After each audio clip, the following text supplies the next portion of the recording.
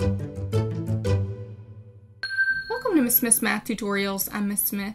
In this video, we're going to be talking about statistical sampling and studies. This video is going to be a lot of vocab, but hopefully you'll see that it's not too difficult. It's just a lot of different terms we have to talk about.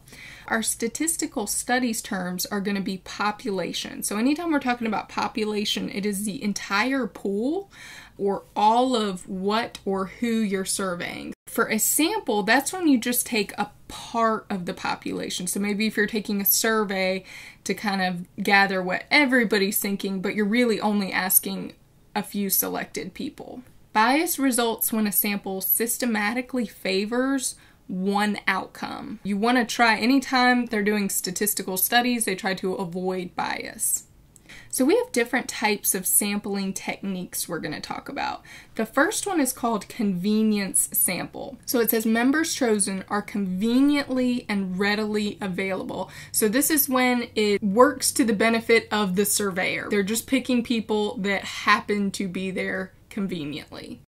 Voluntary response sample. So the, the name is kind of pretty obvious there that your members are people that have volunteered to participate.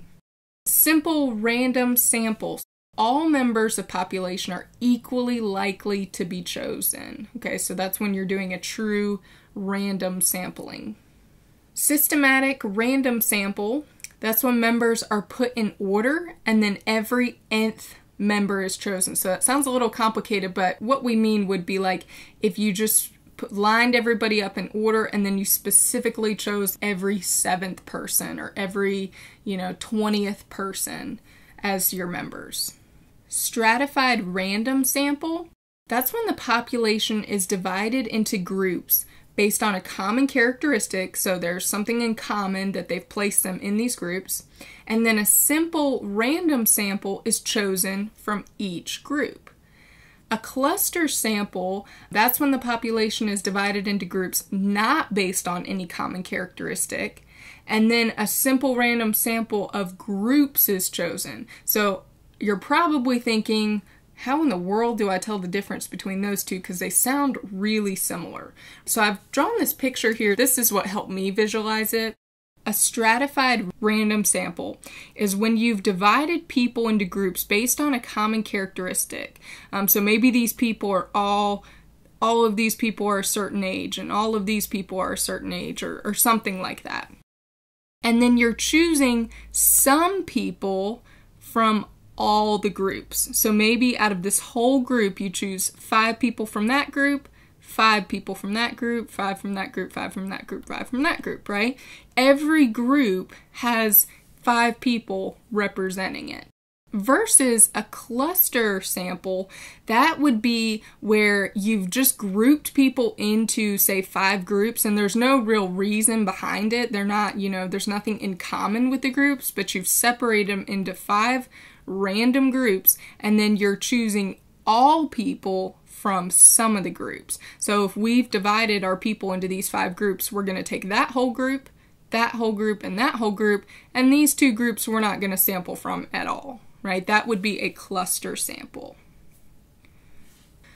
So there are different survey methods that we're going to talk about. The first one will be observational study. That measures or observes members of a sample in such a way that they're not affected by the study. So it's pretty obvious within the name, you're just observing and making notes or observations.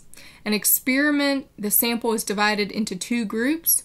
One group is given some type of treatment and the other is the control group and given a placebo. A placebo means that it's a it's kind of like a fake pill, so maybe they think they're getting the real pill, but they're not, or treatment, but they're not. A survey is every member of the sample is asked a set of questions. That one's pretty straightforward.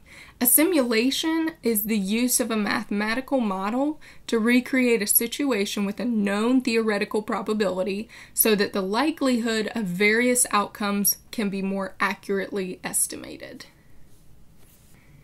Let's look at some practice examples now. So we want to choose the sampling technique used for each of these examples. So we're going to be choosing from that first column of sampling techniques. A company randomly selects employees by their employee ID numbers to participate in a survey about workplace safety. So what they're doing is they are just randomly picking ID numbers. They're not looking at who they belong to, and then the people they pick are going to be a part of the survey. That would definitely be a simple random survey.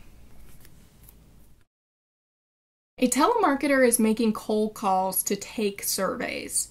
He starts with the first name in the phone book and chooses every fifth person after that to call. So remember, that's like where we talked about how every nth person is chosen after you put people in an order. So for here, the order would be alphabetical, right? If he's using a phone book and he's choosing every fifth person. So that is a systematic random sample.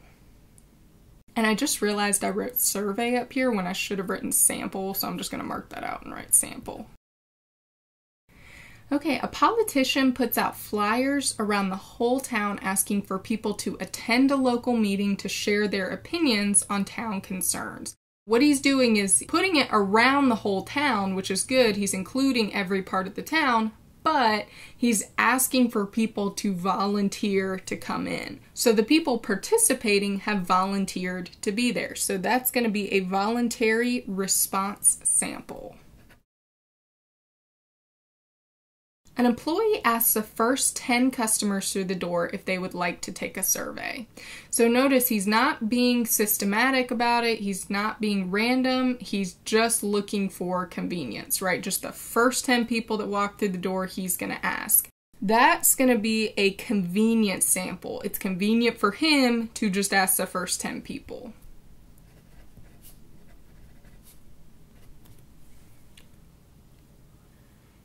An administrator groups together high schoolers by grade level.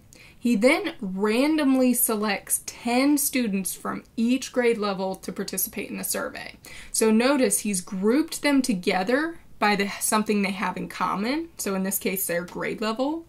And then he's randomly selecting 10 students from each group. So that is going to be the stratified random sample.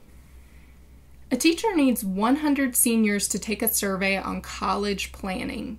She makes a list of all the senior homerooms and randomly selects four homerooms to participate. So these students have been grouped into homerooms, right?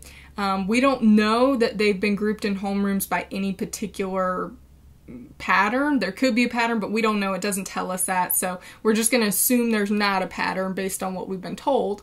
Um, and she's making a list of all the different groups, and then she randomly selects four groups. So all the other homerooms don't get to participate, their groups don't get chosen at all. But everybody in those four homerooms does get to participate. So that's going to be a cluster sample.